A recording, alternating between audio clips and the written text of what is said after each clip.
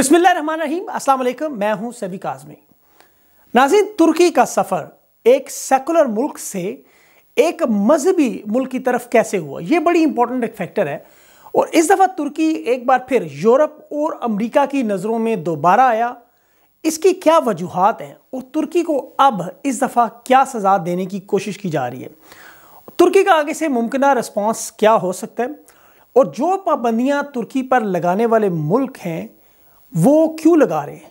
तुर्की की मौजूदा मीशत के हालात दुनिया के कंपेयर करें तो कहाँ हैं? फ्रांस के सदर मैक्रो ने पाबंदियों का ऐलान किया तो अर्तगान ने क्या रिस्पॉन्स दिया? नाजिन, जब भी किसी की कमर को झुकाना हो, उसे घुटनों तक लाना हो तो उसके पेट पर लात मारी जाती है। और ये अमल सदियों से जारी है। तुर्की एक सेकुलर मुल्क के तौर पर सिंबॉलिक मुल्क था इस्लामिक मुल्क बना, लेकिन जब तैयब अर्दगान आए तो उनका रुझान खिलाफत की तरफ़ हुआ। ये वो खोई हुई मुसलमानों की शान को वापस देखना चाहते थे। एक फुटबॉल के खिलाड़ी और हाफिज कुरान तैयब रजब अदगान इकदार संभाला तो वो इकदाम शुरू किए जो उनका हक था। 1517 से 1924 तक 407 तक, साल तक तीन बरियाजमों पर राज करने वाली इस अजीम सल्तनत की सरहदें मगरब में अपनाए जब्राल्टर से लेकर बैर कोजैन और खलीज फारस और शमॉल में आस्ट्रिया की सरहदों, सलवाकिया और क्रीमिया, जो यूक्रेन है आजकल। वहाँ से जनूब में सूडान, सोमालिया और यमन तक फैली हुई थी। ज़रा एरिया देखें इनका। इसने एक तुर्की को एक अरसे से खिलाफत उस्मानिया के लिए बरसरे पैकार है और उनका वो माहा जो 2023 में ख़त्म होने वाला है और बहुत दफ़ा मीडिया में बात भी सामने आई कि तुर्की हिजाज मुक़दस की रखवाली चाहता है, मुस्लिम ब्लॉक की सरबराही का ख्वाहिशमंद है और तुर्की इस पर एक अरसे से काम भी कर रहा है। जब से तैयब रजब अर्दगान ने इकतदार संभाला, वो सारे काम इस अंदाज में हो रहे हैं कि मुस्लिम दुनिया का लीडर तस्लीम कर लिया जाए।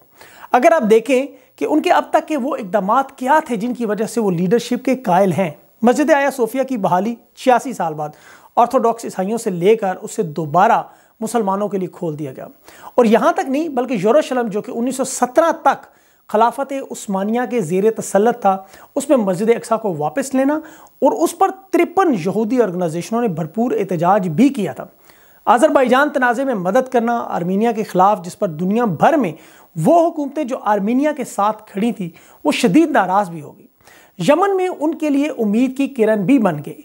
उनतीस मिलियन आबादी उनकी तरफ़ इमदाद के लिए देखती थी। तुर्की ने सात हज़ार खुराक के कार्टन 640 स्लीपिंग बैग 850 कंबल 1000 स्कूल के बस्तों पर मुश्तमिल इमदादी सामान की पहली खेप भेजी तो उनकी आँखें चमक उठी थी और इस पर बहुत से मुखालफी उनसे नाराज़ थे, जिनका यमन की इस जंग में बड़ा अहम किरदार था और वो यकीनी तौर पर सऊदी और हौसी बागी थे। यूनान में मशरकी बहर रूम में तेल की खुदाई की, यूनान के भरपूर एहतजाज, फ्रांस की शमूलियत और उसके तेल के लिए अपना हक इस्तेमाल करने के लिए मशरकी बहरा रूम की हदूद में, जो कि शाम लिबनान, तुर्की, साइप्रस, मिस्र, फ़लस्तीन, लिबिया, इसराइल तक लगती है, तुर्की ने किसी की परवाह नहीं की। इवन उन्होंने वो इजलास ही अटेंड नहीं किया जिसमें उन्हें बुलाया गया था। हालाँकि तुर्की और यूनान दोनों नेटो के ममालिक हैं। सवाल ये पैदा होता है कि तुर्की का नाम हर जगह क्यों सुनाई देता है? तो अगर आप उनकी तारीख पढ़ें तो आपको हैरान होंगे कि 407 साल तक ये लोग हुक्मरान थे। और अगर आप ये दोबारा हुक्मरानी का सोचें तो वो उस अजीम खिलाफत उस्मानिया जो उन्होंने बनाई थी तो ये गलत नहीं होगा।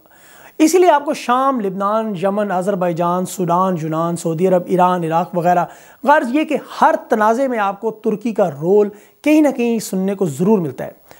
आठ करोड़ की आबादी और जीडीपी परचेजिंग पावर के हिसाब से 2.4 ट्रिलियन दुनिया की तेरहवीं बड़ी इकोनॉमी है। लेकिन दुनिया के 216 ममालिक की तरह इसे भी कोविड 19 ने हिट किया है गुर्बत का रेट जो है वो 14 परसेंट है इस वक्त, लेकिन हुकूमत इसे इकदाम और स्टिमुलस पैकेजेस से जो है वो 11 परसेंट तक लाने में कामयाब हो जाएगी।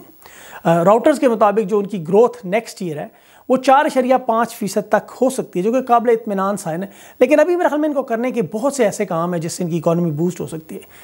ब्रिसल्स में होने वाले इजलास में आज फ्रांस के सदर इमैनुअल मैक्रो ने तुर्की को वार्निंग देते हुए कहा कि उनकी ड्रिलिंग की वजह से उन पर शदीद पाबंदियाँ लग रही हैं। लेकिन डायलॉग का रास्ता खोला हुआ अभी आप आए, हमसे बात करें। तुर्की ने जवाब में उनकी पाबंदियों को हवा में उड़ा दिया। और ने कहा कि आप लोग ईमानदार नहीं हैं। इस केस को आप फेवरेटिज्म कह रहे हैं। एक या दो ममालिक की अंदरून खाना मुखालफत है। इस वजह से आप हम पे पाबंदियाँ लगा रहे हैं। हम आपकी पाबंदियों की कोई परवाह नहीं करते। इन पाबंदियों में उन शिप और खुदाई के काम को रोकना और हाथ से रोकना भी शामिल है। उनकी आमदनी ले लेना और उन्हें काम न करने देना। अब तुर्की ज़ाहिर है, जब इन पाबंदियों को नहीं मानता और यूरोप इन पाबंदियों की वजह से ज़ोर ज़बरदस्ती करेगा तो ये लाजमन बात आगे बढ़ेगी। और तुर्की ने पूरी तैयारी की हुई है। तुर्की ने यहाँ तक कहा हुआ है कि वो यूनान से अपना हक लेकर रहेंगे। और इसके साथ साथ बाकी ममालिक भी तैयार रहें जहाँ जहाँ तुर्की का हक मलकियत मौजूद है। बहुत इंपॉर्टेंट पॉइंट मैक्रोन के बारे में खाकों की इशात के वक्त ये बर्दगान के सख्त बयान से अब तक यूरोप यूरोप जो है वो सीख पाए। अब ये मलकियत की बातें सऊदी अरब तक। और उन तमाम ममालिक तक जहाँ इनके इंटरेस्ट है, वहाँ ये एक तशवीश का अमल शुरू हो गया। अब ये सब मिलकर तुर्की के खिलाफ इतिहादी कोशिशें तेज़ करेंगे। अभी कोई एक घंटा पहले आज जुमे के दिन अमेरिका ने 400 एस 400 डिफेंस सिस्टम के हवाले से नई पाबंदियाँ लगा दी। तुर्की को उम्मीद थी कि बाइडन के आने से ये बेहतर होगा, लेकिन ट्रंप जाने से पहले ये यकीनी बनाना चाहते हैं कि उनका टारगेट इस्माइल दमीर जो कि हेड है डिफेंस इंडस्ट्रीज़ के, तुर्की के, कि अमेरिका तुर्की को रूस के करीब देखना नहीं चाहता। उन्होंने जो एस फोर हंड्रेड तुर्की को दिए और अक्टूबर में टेस्ट भी उन्होंने कर लिया। अमेरिका अब तक शदीद नाराज़ है। वो समझते हैं कि प्यूटन नेटो के इतिहादियों को कमज़ोर करना चाहते हैं। अमेरिका ने गुस्से में आकर, बल्कि तुर्की को वो जो फाइटर जेट प्रोग्राम था इनका एफ़ थर्टी फाइव उससे भी निकाल दिया था। अब रूस एस फोर हंड्रेड लेकर वो इस्तेमाल कर चुके हैं। अब अमेरिका और यूरोप की पाबंदियों से 1.5 परसेंट जो लीरा है वो मुतासर तो होगा, लेकिन तुर्की को इस मुश्किल से निकलना भी है। और जो धमकी उन्होंने दी है कि जहाँ जहाँ हमारे एसेट्स दुनिया में मौजूद थे, हम उन्हें वापस लेंगे। अब वो एसेट्स कौन कौन से हैं? उनमें हिजाज मुक़दस भी है, उनमें जरूसलम भी है, उनमें मस्जिद अक्सा भी है, उनमें यूनान भी उनमें वो तमाम एरिया जहाँ पर तुर्की ने तीन बरियाज़मों में हुकूमत की। तो ये उनकी बात अगर इस पर गौर किया जाए तो तुर्की क्या इस खिलाफत उस्मानिया के बड़े लीडरशिप के लिए तैयार है? तुर्की का असल इकॉनमी का जो मसला है, वो मसला हल ज़रूर हो सकता है, लेकिन उस मसले को हल करने के लिए उन्हें बहुत से जंगी इकदाम करने पड़ेंगे और लीडरशिप के लिए ख़ास तौर पर जब आप मुस्लिम उमा की लीडरशिप के लिए बात करें तो उसके लिए बहुत से मुसलमान ममालिक ऐसे हैं जो कि पहले से तैयारी करके बैठे हुए हैं। सऊदी अरेबिया ऑफकोर्स वो इस फ्रंट लाइन का रनर है। दूसरी तरफ़ ईरान अपने आप को टेबल पर बैठे हुए एक मज़बूत मुल्क के तौर पर देखता है। उनकी अपनी ख्वाहिश है कि वो मुस्लिमत, मुस्लिम उम्मा के इस ब्लॉक की जो सरबराही है, वो करें। ताकि वो, चूँकि दुनिया की ऑयल और गैस के दूसरे बड़े उन प्रोड्यूसर हैं तो वो उनके पास उनके रिज़र्व हैं तो वो चाहते हैं कि ये हुक्मरानी उनके पास आए। अब मसला हुक्मरानी का नहीं है। मसला एक तो हुक्मरानी है कि आप जाकर इन तमाम फोरम्स पर मुसलमानों के मसाइल को डिस्कस करें।